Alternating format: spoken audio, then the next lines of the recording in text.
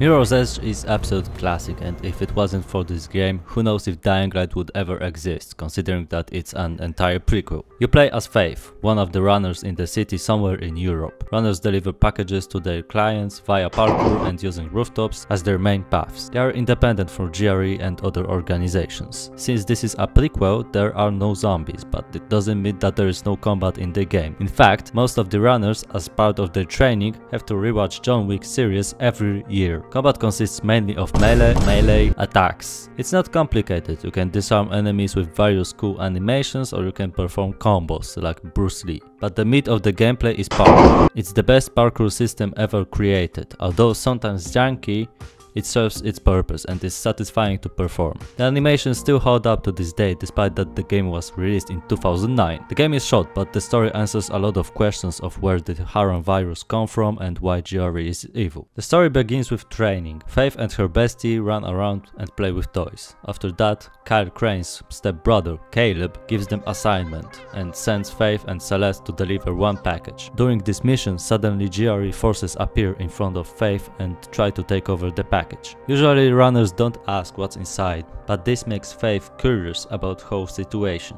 After almost getting shot to death, Faith gives Celeste the package and escapes with total fashion jumping onto Chopper. Unable to sleep, Faith stays up all night when suddenly she gets information about Shootout in corporation where her sister Kate works. She immediately runs to the spot to check out if her sister is safe. Turns out that someone shot GRE agent. Someone faked his murder as if he jumped to the back of rusty knives. Faith's sister is found on the spot but admits that she is being framed, but there is no time to chat because GRE top soldiers are on their way. Faith has to run away while her sister stays behind, but takes a small note that was in victim's hand as a clue that might lead her to the answer. This situation makes Faith even more curious about what was in the package and what is going on altogether. Caleb tells her to get in touch with one of the ex-GRE agent named Jackass. He might have some answers or whereabouts on where to look for the next clue. To reach him, she has to go through canals where she finds snipers guarding something. She took out the snipers but there was no time to check out what they were guarding because more GRE soldiers appear. During her escape, Faith stumbles across Jackass. He challenges her to play tag if she wants to get any information from him. Faith agrees and chase sequence starts. It ends up abruptly when Jackass falls on his ass and fractures his entire spine. Faith catches up to him and interrogates interrogates him about who faked the death of GRE agent and why. Jackass tells her about a policeman named Frank that works for GRE. He is one of the top in GRE ranks. Faith finds him in dingy parking lot and interrogates him about the package. Frank says he doesn't know what was inside, but he knows who is the receiver. His name is Robert, another GRE top dog. He also mentions Faith's sister and asks Faith why she killed GRE agent. Faith answers that Kate got framed and she also looks for a way to work this out. Faith immediately rushes to Robert's office and eavesdrops a conversation between him and someone who might be potential buyer. As she breaks the vents, the alarm starts and she has to quickly look for a way out. After big shootout on the rooftops, the military choppers start chasing Faith. This stirs up only more and more questions about what is in the package. She escapes into the underground garage where she encounters Frank for the second time. He is angry that she survived and wanted to kill her on the spot. Faith disarms him and asks for the last time what is going on with the package. Frank explains that she shouldn't ever get in the possession of it and that it's classified intel for GRE. He says that it's some kind of weapon. Faith decides to lay down her gun. Frank tells her where Robert hides and sets her off. When she finds Robert, he attacks her charging with metal pipe. She dodges the attack and Robert slips. While hanging, she interrogates him about the package when suddenly he gets shot in the back by mysterious sniper. The GRE soldiers are in the building, so Faith has to quickly escape. She escapes to the subway while GRE soldiers chase her to the very end. She dispatches some of them and escapes by jumping onto one of the trains. It's nighttime and Faith meets up with her her bestie Celeste to tell her about this entire situation. After Celeste says for the seventh time, damn that's crazy, they split up and she leaves Faith with her thoughts. It's another day and Jackass calls her to meet up in shopping mall, but the GRE soldiers already know about this meetup. On her way, Faith has to fight with them.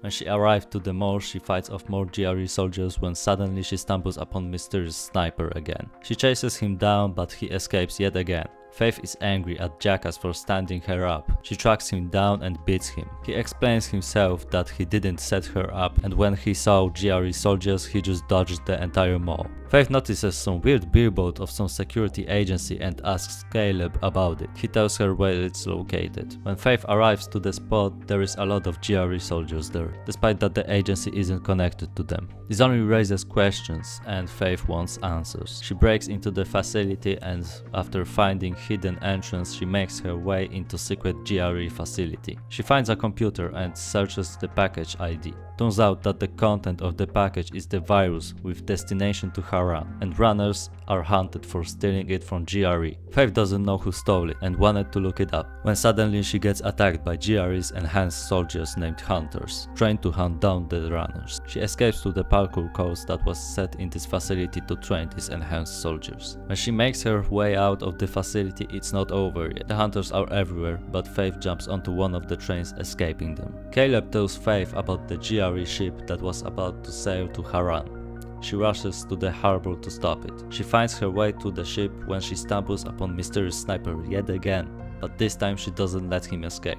After a brief boss fight, it turns out that the mysterious sniper was Celeste all along. She admits that she stole the virus to sell it for a big price, so the runners wouldn't have to live on the edge of the law anymore. She also apologizes about framing Kate cause she didn't know she was Faith's sister. Celeste tells Faith that Jackass has the virus and is going to give it back to the GRE. While they were chatting, GRE soldiers caught up to them and started shooting.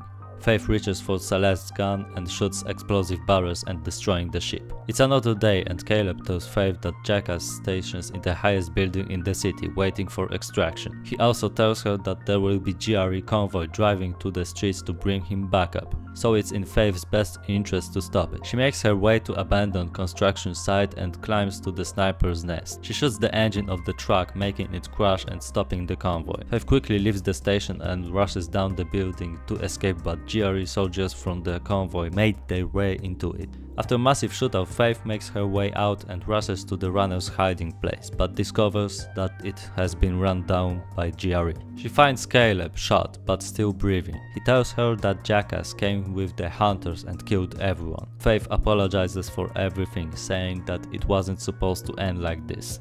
Caleb tells her that she shouldn't be sorry cause he doesn't find her guilty. He then dies in her arms. Faith decides to kill Jackass for everything and destroy the virus. She heads into the tower to the main entrance and gets jumped by Frank and GRE soldiers. When they were about to approach her, Frank kills them revealing that he's always been on Faith's side. He tells her that the virus can't end up in the wrong hands and that he will cover her back while she makes her way to the top. After another massive shootout and quick parkour session, she takes the elevator to the top. Frank informs her that the chopper is about to arrive. She shoots her way to the helipad where she finds Jackass holding Kate hostage. He gives a monologue about how he's gonna get rich and the virus is going to ravage Harran while he is a billionaire. He then orders his goon to kill Faith, but she manages to run towards the chopper and kick Jackass off of it. While going down, he shoots his gun damaging the chopper. Kate slips from the chopper and hangs on the edge of the building.